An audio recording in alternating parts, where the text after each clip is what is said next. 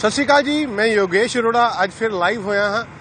ਦਿੱਕਤ ਉਹੀ ਹੈ ਕੱਲ ਵਾਲੀ ਕੁਦਰਤ ਦੀ ਮਾਰ। ਹਿਮਾਚਲ ਦੇ ਵਿੱਚ ਪੈਂਦੀ ਬਰਸਾਤ ਦੀ ਮਾਰ, ਜਿਹੜੀ ਕਿ ਪੰਜਾਬ ਦੇ ਵਿੱਚ ਦੇਖਣ ਨੂੰ ਮਿਲਦੀ ਹੈ। ਪੌਂਗ ਡੈਮ ਦੇ ਵਿੱਚ ਤੁਹਾਨੂੰ ਜਾਣਕਾਰੀ ਦਿੱਤੀ ਸੀ ਕਿ ਪੌਂਗ ਡੈਮ ਦੇ ਵਿੱਚ ਜਿਹੜਾ ਪਾਣੀ ਦਾ ਲੈਵਲ ਹੈ, ਉਹ ਜ਼ਿਆਦਾ ਵਧਣ ਕਰਕੇ ਪੌਂਗ ਡੈਮ ਦੇ ਵਿੱਚੋਂ ਪਾਣੀ ਰਿਲੀਜ਼ ਕੀਤਾ ਗਿਆ ਸੀ ਅਤੇ ਉਹ ਪਾਣੀ ਜਦੋਂ ਬਿਆਸ ਦਰਿਆ ਦੇ ਵਿੱਚ ਪਹੁੰਚਿਆ ਤਾਂ ਉਹਦੇ ਨਾਲ ਦੇ ਇਲਾਕਿਆਂ ਦੇ ਵਿੱਚ ਕਿਹੋ ਜਿਹੀ ਮਾਰ ਪਈ ਆ ਉਹਦੇ ਤਸਵੀਰਾਂ ਤੁਹਾਨੂੰ ਕੱਲ ਵੀ ਸ਼ੇਅਰ ਕੀਤੀਆਂ ਸੀ, ਅੱਜ ਵੀ ਸ਼ੇਅਰ ਕਰ ਰਹੇ ਹਾਂ। ਹਾਲਾਂਕਿ ਤਸਵੀਰਾਂ ਤੁਹਾਨੂੰ ਅੱਜ ਇੱਕ ਅਹਿਮ ਤਸਵੀਰਾਂ ਸ਼ੇਅਰ ਕਰਾਂਗੇ ਕਿ ਪਿੰਡ ਵਾਸੀ ਖੁਦ ਕਿਵੇਂ ਇਸ ਆਫ਼ਤਾ ਨਾਲ ਨਿਜੇਠ ਰਹੇ ਹਨ ਕਿਵੇਂ ਇਸ ਆਫ਼ਤਾ ਚੋਂ ਨਿਕਲਣ ਲਈ ਰਾਹ ਲੱਭ ਰਹੇ ਹਨ। ਉਸ ਦੀਆਂ ਤਸਵੀਰਾਂ ਤੁਸੀਂ ਲਾਈਵ ਦੇਖ ਰਹੇ ਹੋ।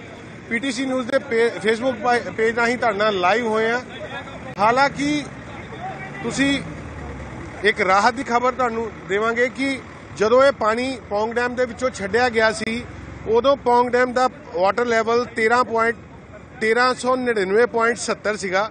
ਹੁਣ ਇਹ ਵਾਟਰ ਲੈਵਲ ਇਹ ਪਾਣੀ ਰਿਲੀਜ਼ ਕਰਨ ਤੋਂ ਬਾਅਦ 1396.18 ਹੋ ਚੁੱਕਾ ਹੈ। ਘੱਟੋ ਘੱਟ 3.5 ਫੁੱਟ ਜਿਹੜਾ ਹੈ ਪਾਣੀ ਪੌਂਗ ਡੈਮ ਦੇ ਵਿੱਚੋਂ ਥੱਲੇ ਜਾ ਚੁੱਕਾ ਹੈ। ਸੋ ਰਾਹ ਦੀ ਖਬਰ ਇਹ ਹੈ, ਪਰ ਜਿਹੜੇ ਤੁਹਾਨੂੰ ਤਸਵੀਰਾਂ ਦਿਖਾ ਰਹੇ ਹਾਂ, ਹਲਕਾ ਟਾਂਡਾ ਦੇ ਰੜਾ ਪਿੰਡ ਦੀਆਂ, ਜਿੱਥੇ ਕਿ ਹੱਲੇ ਵੀ ਵਿਫਤਾ ਘਟਦੀ ਨਜ਼ਰ ਨਹੀਂ ਆ ਰਹੀ ਹੈ। ਪਾਣੀ ਦਾ ਲੈਵਲ ਇੱਥੇ ਜਿਹੜਾ ਹੱਲੇ ਵੀ ਵੱਧਦਾ ਜਾ ਰਿਹਾ ਹੈ। ਉਸ ਦਾ ਕਾਰਨ ਤੁਹਾਨੂੰ ਦੱਸਾਂਗੇ। ਜਿਸ ਪਾਸੇ ਦੀਆਂ ਤੁਸੀਂ ਤਸਵੀਰਾਂ ਦੇਖ ਰਹੇ ਹੋ, ਇਹ ਚੜ੍ਹਦੇ ਪਾਸੇ ਦੀਆਂ ਤਸਵੀਰਾਂ ਹਨ। ਔਰ ਚੜ੍ਹਦੇ ਪਾਸੇ ਦੀ ਸਾਰਿਆਂ ਨਾਲੋਂ ਵੱਡੀ ਦਿੱਕਤ ਇਹ ਆ ਰਹੀ ਹੈ ਕਿ ਇੱਥੇ ਦੀਆਂ ਪੁਲੀਆਂ ਜਿਹੜੀਆਂ ਹਨ, ਇਹ ਬੰਦ ਹਨ, ਜਿਹਦੇ ਕਰਕੇ ਜਿਹੜਾ ਇਹ ਪਾਣੀ ਹੈ, ਲਹਿੰਦੇ ਪਾਸੇ ਨੂੰ ਨਹੀਂ ਜਾ ਸਕਦਾ ਪਿਆ। ਅਤੇ ਇਹ ਪਾਣੀ ਇੱਥੇ ਹੀ ਇੱਕ ਇੱਕ ਪਾਸੇ ਸਟੋਰ ਹੋ ਰਿਹਾ ਹੈ, ਜਿਸ ਦੇ ਨਾਲ ਇਸ ਪਾਣੀ ਦਾ ਲੈਵਲ ਲਗਾਤਾਰ ਵੱਧਦਾ ਨਜ਼ਰ ਆ ਰਿਹਾ ਹੈ। ਲਾਈਵ ਤਸਵੀਰਾਂ ਤੁਸੀਂ ਪੀਟੀਸੀ ਨਿਊਜ਼ ਦੇ ਫੇਸਬੁੱਕ ਪੇਜ ਰਾਹੀਂ ਦੇਖ ਰਹੇ ਹੋ। ਪਿੰਡ ਵਾਸੀਆਂ ਨਾਲ ਗੱਲ ਕਰਾਂਗੇ ਜਿਹੜੇ ਕਿ ਇਹ ਯਤਨ ਖੁਦ ਕਰਦੇ ਨਜ਼ਰ ਆ ਰਹੇ ਹਨ। ਜਿਨ੍ਹਾਂ ਵੱਲੋਂ ਇਹ ਉਪਰਾਲਾ ਕੀਤਾ ਜਾ ਰਿਹਾ ਹੈ, ਜਿਨ੍ਹਾਂ ਵੱਲੋਂ ਇਹ ਜੀਸੀਬੀਆਂ ਚਲਾਈਆਂ ਜਾ ਰਹੀਆਂ ਹਨ। ਸੋ ਜੀਸੀਬੀ ਮਸ਼ੀਨਾਂ ਲੱਗੀਆਂ ਦਿਖਾਈ ਦੇ ਰਹੀਆਂ ਹਨ। ਜੀਸੀਬੀ ਮਸ਼ੀਨਾਂ ਲੱਗੀਆਂ ਦਿਖਾਈ ਦੇ ਰਹੀਆਂ ਹਨ ਔਰ ਇਹ ਯਤਨ ਪਿੰਡ ਵਾਲਿਆਂ ਵੱਲੋਂ ਖੁਦ ਕੀਤਾ ਜਾ ਰਿਹਾ ਹੈ। ਸਾਡੇ ਨਾਲ ਇੱਥੇ ਮੌਜੂਦ ਨੇ ਪਿੰਡ ਵਾਸੀ, ਉਹਨਾਂ ਨਾਲ ਗੱਲ ਕਰਾਂਗੇ। ਵੀਰ ਜੀ ਇੱਕ ਪਾਸੇ, ਵੀਰ ਜੀ, ਇੱਕ ਪਾਸੇ ਪਾਣੀ ਦਾ ਲੈਵਲ ਜਿਹੜਾ ਹੈ, ਇਹ ਪਰਸੋਂ ਦਾ ਵਿਫਤਾ ਬਣਿਆ ਹੋਇਆ ਹੈ। ਘਟਣ ਦਾ ਨਾਮ ਨਹੀਂ ਰਹਿ ਰਿਹਾ। ਪਰ ਰਾਹਤ ਦੀ ਖਬਰ ਇਹ ਹੈ ਵੀ ਪੌਂਗ ਡੈਮ ਦੇ ਵਿੱਚ 3.5 ਫੁੱਟ ਪਾਣੀ ਥੱਲੇ ਆਇਆ ਹਲੇ ਤੱਕ ਤੁਹਾਨੂੰ ਕਿਹੜੀਆਂ ਦਿੱਕਤਾਂ ਆ ਰਹੀਆਂ ਔਰ ਇਹ ਜੀਸੀਬੀ ਦਾ ਪ੍ਰਬੰਧ ਕਿਹੜੇ ਕਿਹਨਾਂ ਵੱਲੋਂ ਕੀਤਾ ਗਿਆ? ਜੀਸੀਬੀ ਦਾ ਪ੍ਰਬੰਧ ਸਾਡੇ ਪਿੰਡ ਰੜੇ ਵੱਲੋਂ ਹੋ ਰਿਹਾ ਜੀ, ਕੀਤਾ ਗਿਆ ਜੀ। ਕੋਈ ਵੀ ਪ੍ਰਸ਼ਾਸਨ ਨੇ ਸਾਡੀ ਬਾਹ ਨਹੀਂ ਫੜੀ। ਅਸੀਂ ਅਸੀਂ ਪੀਟੀਸੀ ਨਿਊਜ਼ ਦਾ ਬਹੁਤ ਧੰਨਵਾਦ ਕਰਦੇ ਹਾਂ ਕਿ ਜਿਹਦੇ ਕਰਕੇ ਸੀਐਮ ਸਾਹਿਬ ਸਾਜਰ ਅੱਜ ਟਾਂਡੇ ਆ ਰਹੇ ਨੇ। ਅਸੀਂ ਪੀਟੀਸੀ ਦਾ ਬਹੁਤ ਧੰਨਵਾਦ ਕਰਦੇ ਸਾਡੀ ਨਾ ਪ੍ਰਸ਼ਾਸਨ ਨੇ ਬਾਹ ਫੜੀ ਆ। ਅਸੀਂ ਆਪਣੀਆਂ ਪਿੰਡ ਵਾਲੇ ਪੈਸੇ ਇਕੱਠੇ ਕਰਕੇ ਬਲਜੀਤ ਭਾਜੀ ਕਿੱਥੇ ਆ?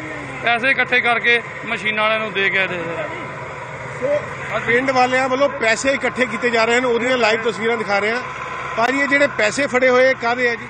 ਇਹ ਇਹ ਜੀ ਅਸੀਂ ਅਸੀਂ ਪਿੰਡ ਵਾਲੇ ਵੱਲੋਂ ਪੈਸੇ ਇਕੱਠੇ ਕਰਕੇ ਤੇ ਇਹ ਮਸ਼ੀਨਾਂ ਅਸੀਂ ਆਪ ਕਿਰਾਏ ਤੇ ਕੀਤੀਆਂ ਆ ਤੇ ਆਪੇ ਪੈਪ ਖੋਲਣ ਵਾਸਤੇ। ਜਿਹੜੇ ਪ੍ਰਸ਼ਾਸਨ ਵੱਲੋਂ ਪੁਖਤਾ ਪ੍ਰਬੰਧਾਂ ਦੇ ਦਾਅਵੇ ਕੀਤੇ ਜਾ ਰਹੇ ਆ ਇੱਥੇ ਵਿਧਾਇਕ ਵੀ ਆਏ ਸੀ ਹੋਰ ਹੋਰ ਪ੍ਰਸ਼ਾਸਨਿਕ ਅਧਿਕਾਰੀ ਵੀ ਆਏ ਆ। ਉਹਨਾਂ ਵੱਲੋਂ ਕੀ ਕੀਤਾ ਇਹ ਉਹਨਾਂ ਵੱਲੋਂ ਤਾਂ ਉਹ ਕਹਿ ਕੇ ਚੱਲ ਜਾਂਦੇ ਆ ਉਹ ਦੇ ਕੇ ਕੁਝ ਨਹੀਂ ਗਏ।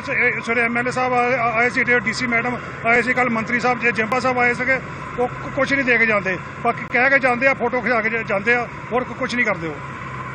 ਭਾਜੀ ਜਿਹੜੀਆਂ ਪੁਲੀਆਂ ਅੱਜ ਜਿਹੜੀਆਂ ਤੁਸੀਂ ਖੋਲ ਰਹੇ ਹੋ ਜੇ ਸਮੇਂ ਸਿਰ ਪਹਿਲਾਂ ਖੋਲ ਦਿੱਤੀਆਂ ਜਾਂਦੀਆਂ ਤਾਂ ਕੀ ਇਹਨਾਂ ਆਫਤ ਆਉਂਦੀ? ਜੇ ਪੁਲੀਆਂ ਅੱਜ ਅਸੀਂ ਐਸਡੀਐਮ ਸਾਹਿਬ ਨੂੰ ਪਹਿਲਾਂ 20 ਦਿਨ ਪਹਿਲਾਂ ਇਹ ਮੰਗ ਪੱਤਰ ਦਿੱਤਾ ਸੀ, ਐਸਡੀਐਮ ਸਾਹਿਬ ਦੀ ਨੌਲੇਜ ਸਾਰੀ ਲੋਕੇਸ਼ਨਾਂ ਦੱਸੀਆਂ ਸੀ ਪੁਲੀਆਂ ਦੀਆਂ, ਐਸਡੀਐਮ ਸਾਹਿਬ ਨੇ ਸਾਡੀ ਕੋਈ ਨਹੀਂ ਸੁਣੀ। ਅਸੀਂ ਜਾ ਕੇ ਉਹਨਾਂ ਨੂੰ ਦੱਸ ਕੇ ਰੀਡਰ ਨੂੰ ਦੱਸ ਕੇ ਆਏ। ਪ੍ਰਸ਼ਾਸਨ ਨੂੰ ਵੀ ਦੱਸਿਆ, ਪਰ ਉਹਨਾਂ ਨੇ ਸਾਡੀ ਮਾਂ ਨਹੀਂ ਫੜੀ। ਇਹ ਪੁਲੀਆਂ ਪਹਿਲਾਂ ਖੁੱਲੀਆਂ ਹੁੰਦੀਆਂ, ਤੇ ਸਾਡਾ ਜਿੰਨਾ ਨੁਕਸਾਨ ਹੋਇਆ, ਇਹ ਸਾਡਾ ਹੋਣਾ ਨਹੀਂ ਸੀ।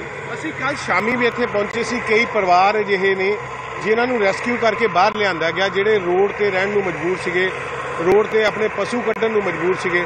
ਉਹ ਇਸ ਵੇਲੇ ਕਿਹਨਾਂ ਹਾਲਾਤਾਂ 'ਚ ਨੇ? ਕੱਲ ਤੁਹਾਡੀਆਂ ਦਿੱਕਤਾਂ ਪਹੁੰਚਾਈਆਂ ਸੀਗੀਆਂ ਦਿਖਾਈਆਂ ਸੀ ਦਰਸ਼ਕਾਂ ਨੂੰ ਤਾਂ ਅੱਜ ਕਿਵੇਂ ਦੇ ਹਾਲਾਤ ਨੇ? ਅੱਜ ਜੋ ਜੀ ਜਿਹੜੇ ਕੱਲ ਸੀਗੀਆਂ ਉਧਰ ਪੁਲੋਂ ਪਾਰਲੇ ਬੰਨੇ ਸੀਗੇ ਡੇਰਿਆਂ ਵਾਲੇ। ਉਹਨਾਂ ਨੂੰ ਤਕਰੀਬਨ ਉਹਨਾਂ ਨੇ ਕੱਢ ਲਿਆ ਆ ਬਾਹਰ।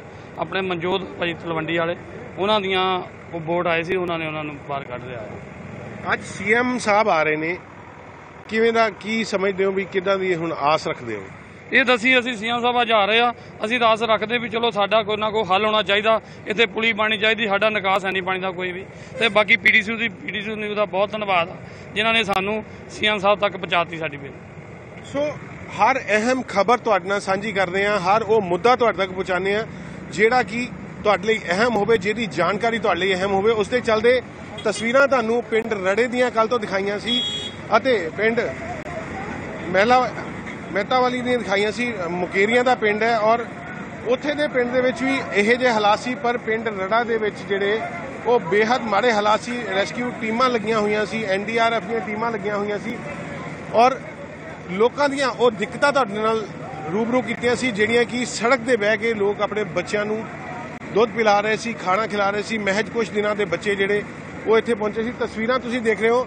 ਹੁਣ ਤੁਹਾਨੂੰ ਇੱਕ ਵਾਰੀ ਲਹਿੰਦੇ ਪਾਸੇ ਦੀਆਂ ਤਸਵੀਰਾਂ ਦਿਖਾ ਰਹੇ ਹਾਂ। ਚੜਦੇ ਪਾਸੇ ਜੀਸੀਬੀ ਦੇ ਨਾਲ ਕੰਮ ਜਾਰੀ ਹੈ ਔਰ ਲਹਿੰਦੇ ਪਾਸੇ ਜਦੋਂ ਇਹ ਪਾਣੀ, ਇਹ ਬੁਲੀ ਖੋਲ ਦਿੱਤੀ ਜਾਵੇਗੀ ਤਾਂ ਸਾਰਾ ਪਾਣੀ ਲਹਿੰਦੇ ਪਾਸੇ ਪਹੁੰਚੇਗਾ, ਜਿਸ ਦੇ ਨਾਲ ਜਿਹੜਾ ਚੜਦੇ ਪਾਸੇ ਪਾਣੀ ਸਟੋਰ ਹੋ ਰਿਹਾ ਹੈ, ਮਕਾਨਾਂ ਦੇ ਵਿੱਚ ਪਾਣੀ ਭਰ ਰਿਹਾ ਹੈ, ਉਸ ਨੂੰ ਕਿਤੇ ਨਾ ਕਿਤੇ ਰਾਹਤ ਮਿਲੇਗੀ। ਸੋ ਤਸਵੀਰਾਂ ਤੁਸੀਂ ਦੇਖ ਰਹੇ ਹੋ ਕਿ ਇਸ ਪੁਲੀ ਨੂੰ ਸਾਫ਼ ਕੀਤਾ ਜਾ ਰਿਹਾ ਹੈ। ਜਦੋਂ ਇਹ ਪੁਲੀ ਸਾਫ਼ ਹੋ ਜਾਏਗੀ ਤਾਂ ਪਾਣੀ ਇਧਰ ਨੂੰ ਰਿਲੀਜ਼ ਹੋਏਗਾ। ਉਸ ਤੋਂ ਬਾਅਦ ਜਿਹੜਾ ਪਾਣੀ ਦਾ ਪੱਧਰ ਜਿਹੜਾ ਹੈ ਕੁਝ ਘਟਦਾ ਨਜ਼ਰ ਆਏਗਾ। ਸੋ ਤਸਵੀਰਾਂ ਔਰ ਅਹਿਮ ਜਾਣਕਾਰੀ ਤੁਹਾਡੇ ਨਾਲ ਲਾਈਵ ਸਾਂਝੀ ਕੀਤੀ ਹੈ ਕਿ ਕਿਸ ਤਰ੍ਹਾਂ ਪਾਣੀ ਦੀ ਆਫਤ ਆਈ ਹੈ, ਕਿਸ ਤਰ੍ਹਾਂ ਹੜ ਦੀ ਮਾਰ ਪਈ ਹੈ। ਪੌਂਗ ਡੈਮ ਵੱਲੋਂ ਜਿਹੜਾ ਪਾਣੀ ਰਿਲੀਜ਼ ਕੀਤਾ ਗਿਆ ਸੀ, ਉਸ ਦੇ ਨਾਲ ਜਿਹੜਾ ਬਿਆਸ ਨਦੀ ਦਾ ਜਦੋਂ ਲੈਵਲ ਵੱਧ ਜਾਂਦਾ ਹੈ, ਤਾਂ ਉਸ ਦੇ ਨਾਲ ਆਲੇ ਦੁਆਲੇ ਪਿੰਡਾਂ ਨੂੰ ਪਾਣੀ ਦੀ ਮਾਰ ਪੈਂਦੀ ਹੈ। ਹਾਲਾਂਕਿ ਕੁਝ ਕਿਸਾਨ ਜਥੇਬੰਦੀਆਂ ਦੇ ਆਗੂ ਵੀ ਸਾਡੇ ਨਾਲ ਇੱਥੇ ਮੌਜੂਦ ਨੇ, ਜਿਹੜੇ ਕਿ ਇੱਥੇ ਲੋੜ ਦਾ ਸਮਾਨ ਪਹੁੰਚਾ ਰਹੇ ਨੇ, ਰਸਦ ਪਹੁੰਚਾ ਰਹੇ ਨੇ। ਉਹਨਾਂ ਨਾਲ ਵੀ ਗੱਲ ਕਰਨ ਦੀ ਕੋਸ਼ਿਸ਼ ਕਰਾਂਗੇ ਵੀ ਕਿਹੋ ਜਿਹੇ ਹਾਲਾਤ ਨੇ ਪਿੰਡਾਂ ਦੇ ਔਰ ਕਿੰਨੀ ਕੁ ਰਸਦ ਪਹੁੰਚਾਈ ਜਾ ਰਹੀ ਹੈ? ਕਿਹੜੀ ਕਿਹੜੀ ਰਸਦ ਸਮੱਗਰੀ ਉਹਨਾਂ ਤੱਕ ਪਹੁੰਚਾਈ ਜਾ ਰਹੀ ਹੈ? ਜੰਗਵੀਰ ਜੀ ਕੱਲ ਦੇ ਕੱਲ ਦੇ ਇੱਥੇ ਲੱਗੇ ਹੋਏ ਹੋ, ਪਰਸੋਂ ਦੇ, ਪਰਸੋਂ 11 ਵਜੇ ਦੇ ਪਾਣੀ ਦੀ ਮਾਰ ਪਈ ਹੈ। ਰਸਦ ਸਮੱਗਰੀ ਪਹੁੰਚਾ ਰਹੇ ਹੋ। ਲੋਕਾਂ ਦੇ ਰੈਸਕਿਊ ਆਪਰੇਸ਼ਨ ਕਰਕੇ ਘਰਾਂ ਦੇ ਵਿੱਚੋਂ ਕੱਢ ਰਹੇ ਹੋ। ਜੇ ਹੁਣ ਦੇ ਮੌਜੂਦਾ ਹਾਲਾਤਾਂ ਦੀ ਗੱਲ ਕਰੀਏ ਤਾਂ, ਅਸੀਂ ਕੱਲ ਵੀ ਇੱਥੇ ਆਏ ਸੀ ਕੱਲ ਵੀ ਉਹ ਹਾਲਾਤ ਦਿਖਾਏ ਸੀ। ਮੌਜੂਦਾ ਹਾਲਾਤਾਂ ਦੀ ਗੱਲ ਕਰੀਏ ਜਾਂ ਅੱਜ ਜਿਹੜਾ ਐਲਾਨ ਕੀਤਾ ਗਿਆ ਵੀ ਸੀਐਮ ਸਾਹਿਬ ਫੇਰੀ ਮਾਰਨ ਆ ਰਹੇ, ਉਹਨਾਂ ਬਾਰੇ ਕੀ ਕਹੋਗੇ? ਮੈਂ ਧੰਨਵਾਦ ਕਰਦਾ ਪੀਟੀਸੀ ਨਿਊਜ਼ ਦਾ ਕਿ ਤੁਹਾਡੇ ਵਰਗੇ ਭਰਾ ਜਿਹੜੇ ਆ, ਸੋ ਪੰਜਾਬ ਦਾ ਮੀਡੀਆ ਦਿੱਲੀ ਵੀ ਸਾਡੀ ਆਵਾਜ਼ ਜਿਹੜੀ ਹੈ ਦੀ ਦੁਨੀਆ ਤੱਕ ਪਹੁੰਚਾਈ ਆ। ਸੋ ਇਸ ਪ੍ਰਭਾਵਿਤ ਇਲਾਕੇ ਦੇ ਵਿੱਚ ਵੀ ਤੁਸੀਂ ਆਏ ਆ। ਸੋ ਤੁਹਾਡਾ ਧੰਨਵਾਦ, ਇਸ ਚੈਨਲ ਦਾ ਧੰਨਵਾਦ।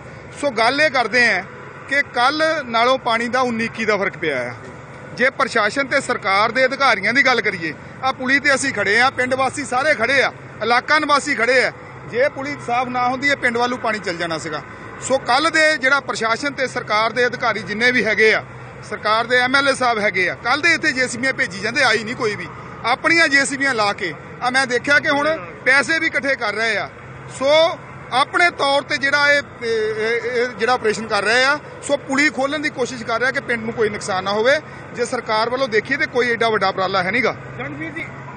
ਵਿਫਤਾਂ ਆਉਂਦੀਆਂ ਨੇ ਲੋਕ ਆਪਣੇ ਸਿਰ ਤੇ ਹੰਡਾਉਂਦੇ ਨੇ ਉਹਨਾਂ ਦਾ ਹੱਲ ਕਰਦੇ ਨੇ। ਫਿਰ ਉਹਨਾਂ ਆਸਾਂ ਦਾ ਕੀ ਜਿਹਨਾਂ ਆਸਾਂ ਨੂੰ ਲੈ ਕੇ ਸਰਕਾਰਾਂ ਬਣਾਈਆਂ ਜਾਂਦੀਆਂ? ਨੇ ਦੇਖੋ, ਅਸਲ 'ਚ ਲੋਕ ਇੱਕ ਨਵਾਂ ਬਦਲਾਅ ਚਾਹੁੰਦੇ ਸੀ। ਨਵਾਂ ਪੰਜਾਬ ਸਿਰਜਣਾ ਚਾਹੁੰਦੇ ਸੀ। ਇਹ ਪੰਜਾਬ ਨੂੰ ਨਵੀਂ ਰੂਪਰੇਖਾ ਦੇਣੀ ਚਾਹੁੰਦੇ ਸੀ। ਉਹ ਪੁਰਾਣੇ ਪੰਜਾਬ ਦੀ ਗੱਲ ਕਰਦੇ ਸੀ। ਪਰ ਅਸਲ ਦੇ ਵਿੱਚ ਠੱਗੇ ਗਏ ਲੋਕ। ਲੋਕ ਅੱਜ ਮਹਿਸੂਸ ਕਰ ਰਹੇ ਹਰੇਕ ਵਰਗ ਮਹਿਸੂਸ ਕਰ ਰਿਹਾ ਆ। ਉਹਨਾਂ, ਇਹ- ਗੱਲ ਸਾਹਮਣੇ ਆ ਰਹੀ ਹੈ ਕਿ ਸਿਰਫ ਚਿਹਰੇ ਹੀ ਬਦਲੇ ਆ। ਨੀਤੀਆਂ ਉਹੀ ਹੈ ਕਰਪਸ਼ਨ ਵੱਧ ਗਈ ਯਾਰ ਤਿੰਨ ਤਿੰਨ ਗੁਣਾ ਪਿਛਲੇ ਸਾਲਾਂ ਪਿਛਲੇ ਟਰਮਾਂ ਨਾਲੋਂ ਕਰਪਸ਼ਨ ਵੱਧ ਗਈ ਆ। ਸੋ ਕਹਿਣ ਤੋਂ ਭਾਵ ਨੀਤੀਆਂ ਹੋਈਆਂ ਸਿਰਫ ਚਿਹਰੇ ਬਦਲੇ ਆ। ਆਸ ਕੋਈ ਨਹੀਂ ਅੱਜ ਵੀ ਸੀਐਮ ਸਾਹਿਬ ਆ ਰਹੇ ਆ। ਪਤਾ ਲੱਗਾ ਸੀਐਮ ਸਾਹਿਬ ਆ ਰਹੇ ਇੱਥੇ? ਮੇਰਾ ਅਗਲਾ ਕੁਐਸਚਨ ਵੀ ਇਹੀ ਸੀ ਵੀ ਸੀਐਮ ਸਾਹਿਬ ਆ ਰਹੇ ਆ ਕੀ ਆਸ ਰੱਖਦੇ ਹੋ? ਇਸ ਇਲਾਕੇ ਦੀ ਕੋਈ ਸੁਧ ਲਈ ਜਾਊਗੀ ਜਾਂ ਜਾ ਕੇ ਦੇਖਿਆ ਜਾਊਗਾ?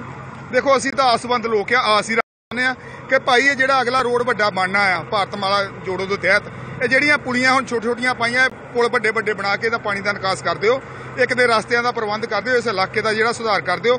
ਇਹ ਇਹ ਹੜ੍ਹ ਪੀੜਤਾਂ ਦੀ ਤੁਸੀਂ ਮਦਦ ਕਰ ਦਿਓ, ਇਹਨਾਂ ਨੂੰ ਮੁਆਵਜ਼ਾ ਦੇ ਦਿਓ। ਕਿਤੇ ਉਹੀ ਗੱਲ ਨਾ ਹੋਵੇ ਕਣਕਾਂਗੂ ਇਹ ਲੋਕ ਫਿਰ ਵਾਂਝੇ ਰਹਿ ਜਾਣ। ਇਹਨਾਂ ਦਾ ਸਾਰਾ ਸਮਾਨ, ਲੱਖਾਂ ਰੁਪਏ ਦਾ ਸਮਾਨ ਜੁਗੇਸ਼ ਜੀ, ਡੁੱਬ ਗਿਆ ਪਾਣੀ ਦੇ ਵਿੱਚ। ਆਪਣੀਆਂ ਆਸਾਂ ਦੱਸਦੇ ਨਜ਼ਰ ਆ ਰਹੇ ਨੇ, ਆਪਣੀਆਂ ਮੰਗਾਂ ਦੱਸਦੇ ਨਜ਼ਰ ਆ ਰਹੇ ਨੇ ਅਤੇ ਉਹ ਹਾਲਾਤ ਦੱਸਦੇ ਨਜ਼ਰ ਆ ਰਹੇ ਨੇ, ਜਿਹੜੇ ਕਿ ਇਹ ਹੜ ਦੀ ਮਾਰ ਕਰਕੇ ਇਹਨਾਂ ਦੇ ਬਣੇ ਹੋਏ ਨੇ। ਦੂਸਰੇ ਪਾਸੇ ਤਸਵੀਰਾਂ ਦਿਖਾ ਰਹੇ ਆ ਉਹ ਰਸਦ ਦੀਆਂ ਜਿਹੜੀ ਕਿ ਰਸਦ ਇੱਥੇ ਪਹੁੰਚਾਈ ਜਾ ਰਹੀ ਹੈ, ਖਾਣ ਪੀਣ ਦਾ ਸਮਾਨ ਇੱਥੇ ਪਹੁੰਚਾਇਆ ਜਾ ਰਿਹਾ ਹੈ। ਪਾਣੀ ਪਹੁੰਚਾਇਆ ਜਾ ਰਿਹਾ ਹੈ, ਪਾਣੀ ਇੱਥੇ ਪਾਣੀ ਦੀ ਸੇਵਾ ਕੀਤੀ ਜਾ ਰਹੀ ਹੈ। ਸੋ ਲਗਾਤਾਰ ਉਹ ਅਹਿਮ ਤਸਵੀਰਾਂ ਤੁਸੀਂ ਦੇਖ ਰਹੇ ਹੋ ਕਿ ਅਹਿਮ ਤਸਵੀਰਾਂ ਤੁਹਾਡੇ ਨਾਲ ਲਾਈਵ ਸਾਂਝੀਆਂ ਕਰ ਰਹੇ ਹਾਂ ਕਿ ਹਲੇ ਤੱਕ ਜਿਹੜਾ ਕੱਲ ਇੱਥੇ ਦੇ ਹਾਲਾਤ ਦਿਖਾਏ ਸੀ, ਉਹ ਹਾਲਾਤ ਕਿਹੋ ਜਿਹੇ ਨੇ? ਹਾਲਾਂਕਿ ਰਾਹਤ ਦੀ ਗੱਲ ਤੁਹਾਨੂੰ ਇੱਕ ਵਾਰੀ ਫਿਰ ਦੱਸਾਂਗੇ ਕਿ ਰਾਹਤ ਦੀ ਗੱਲ ਇਹ ਹੈ ਕਿ ਪੌਂਗ ਡੈਮ ਦੇ ਵਿੱਚੋਂ ਜਦੋਂ ਇਹ ਪਾਣੀ ਛੱਡਣ ਦਾ ਫੈਸਲਾ ਕੀਤਾ ਗਿਆ ਸੀ, ਉਦੋਂ 10 ਤੋਂ 12 ਫੁੱਟ ਜਿਹੜਾ ਹੈ, ਖਤਰੇ ਦੇ ਨਿਸ਼ਾਨ ਤੋਂ ਥੱਲੇ ਸੀਗਾ ਪੌਂਗ ਡੈਮ ਔਰ ਉਦੋਂ ਵਾਟਰ ਲੈਵਲ 1399.70 ਸੀਗਾ। ਹੁਣ ਇਹ ਵਾਟਰ ਲੈਵਲ ਘਟ ਕੇ ਜਿਹੜਾ ਇਹ ਪਾਣੀ ਰਿਲੀਜ਼ ਕੀਤਾ ਗਿਆ ਹੈ, ਇਹ ਪਾਣੀ ਛੱਡਿਆ ਗਿਆ ਹੈ ਮੁਕੇਰੀਆਂ ਹਾਈਡਨ ਲਹਿਰ ਦੇ ਵਿੱਚ ਅਤੇ ਬਿਆਸ ਦਰਿਆ ਦੇ ਵਿੱਚ। ਉਸ ਤੋਂ ਬਾਅਦ ਹੁਣ ਪੌਂਗ ਡੈਮ ਦਾ ਜਿਹੜਾ ਵਾਟਰ ਲੈਵਲ ਹੈ, ਉਹ 1396.18 ਹੋ ਚੁੱਕਾ ਹੈ। ਸੋ ਲਗਭਗ ਜੇ ਗੱਲ ਕਰੀਏ ਤਾਂ 3.5 ਫੁੱਟ ਦੀ ਰਾਹਤ ਮਿਲੀ ਹੈ ਪੌਂਗ ਡੈਮ ਨੂੰ। 3.5 ਫੁੱਟ ਜਿਹੜਾ ਪਾਣੀ ਜਿਹੜਾ ਹੈ, ਉਹ ਘਟ ਗਿਆ ਹੈ, ਪਰ ਚਾਹੇ ਉੱਥੇ ਦੇ ਪਾਣੀ ਦੇ ਵਿੱਚ ਘਟਾ ਆਇਆ ਹੈ, ਪਰ ਪਿੰਡਾਂ ਦੇ ਵਿੱਚ ਕਿਤੇ ਵੀ ਇਹ ਪਾਣੀ ਘਟਦਾ ਨਜ਼ਰ ਨਹੀਂ ਆ ਰਿਹਾ। ਪਿੰਡ ਰੜੇ ਤੋਂ ਲਾਈਵ ਤਸਵੀਰਾਂ ਤੁਸੀਂ ਦੇਖ ਰਹੇ ਹੋ। ਪਿੰਡ ਰੜੇ ਤੋਂ ਤੁਹਾਨੂੰ ਲਾਈਵ ਜਾਣਕਾਰੀ ਤੁਹਾਡੇ ਨਾਲ ਸਾਂਝੀ ਕਰ ਰਹੇ ਹਾਂ ਕਿ ਪਿੰਡ ਰੜੇ ਦੇ ਕੱਲ ਵੀ ਇਹੋ ਜਿਹੇ ਹਾਲਾਤ ਸੀ ਤੇ ਅੱਜ ਪਿੰਡ ਵਾਸੀਆਂ ਵੱਲੋਂ ਆਪਣੇ ਤੌਰ ਤੇ ਜਿਹੜੇ ਪੈਸੇ ਜਮ੍ਹਾਂ ਕਰਕੇ ਇੱਥੇ ਜੇਸੀਬੀਆਂ ਲਾਈਆਂ ਗਈਆਂ ਹਨ, ਉਹਨਾਂ ਦੇ ਡੀਜ਼ਲ ਦੇ ਖਰਚੇ ਲਈ ਆਪਸ ਵਿੱਚ ਪੈਸੇ ਜਮ੍ਹਾਂ ਕਰ ਰਹੇ ਹਨ ਅਤੇ ਉਹ ਪੁਲੀਆਂ ਖੋਲਣ ਦੀ ਕੋਸ਼ਿਸ਼ ਕੀਤੀ ਜਾ ਰਹੀ ਹੈ, ਜਿਨ੍ਹਾਂ ਨਾਲ ਜਿਹੜਾ ਇਲਾਕਿਆਂ ਦੇ ਵਿੱਚ, ਰੜੇ ਦੇ ਪਿੰਡਾਂ ਦੇ ਵਿੱਚ ਜਿਹੜੇ, ਰੜਾ ਪਿੰਡ ਦੇ ਵਿੱਚ ਜਾਂ ਹਾਲਵਾਲ ਦੇ ਪਿੰਡਾਂ ਦੇ ਵਿੱਚ ਜਿਹੜਾ ਪਾਣੀ ਰੁਕਿਆ ਹੋਇਆ ਹੈ, ਉਹ ਜਿਹੜਾ ਹੈ ਉਹ ਘਟੇ ਤਾਂ ਜੋ ਪੁਲੀਆਂ ਖੋਲਣ ਕਰਕੇ ਲਹਿੰਦੇ ਪਾਸੇ ਪਾਣੀ ਜਾ ਸਕੇ।